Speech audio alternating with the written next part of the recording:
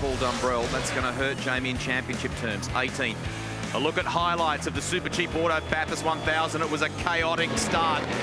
McLaughlin eventually found a way past Dean Canto, who started the race.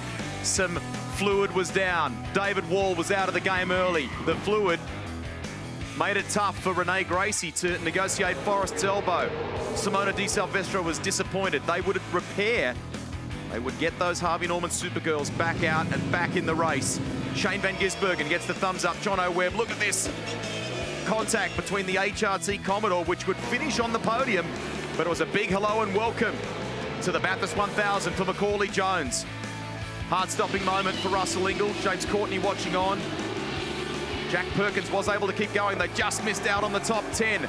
This one took the wild cards from last year in for the full season this year. Super Black Racing out of the game.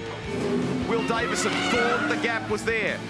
Thought the invitation was to move down the inside of Ollie Gavin. But damage to the triple two.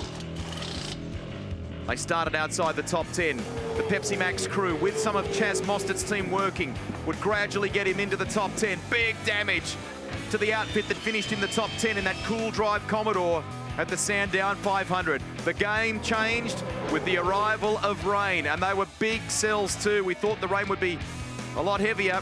It was a real fight, Neil, wasn't it, for pit position here to avoid the stacking, and Jono Webb ran off going into the chase, but Shane Van Gisbergen fought back hard to get ahead of the 17. That was a tremendous exchange between those two. They thoroughly enjoyed it, and so did we.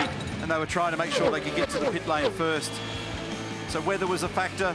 There were little mistakes, a bit of push and shove as always. A lot of cars getting into strife at the top today. Great pressure run there between Craig Lowndes and uh, car number 55.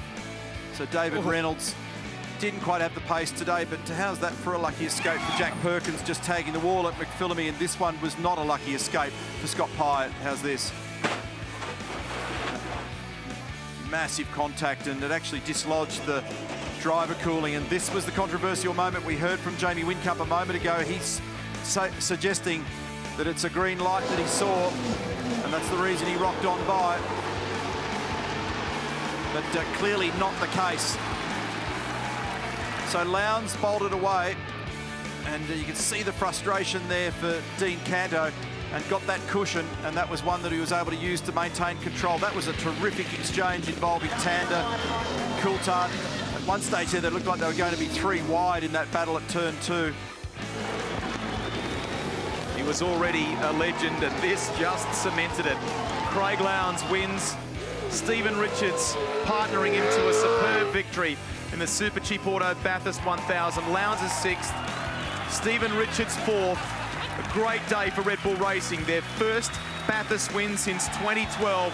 It means a huge amount. The crowd cheering for the legend, Lowndes.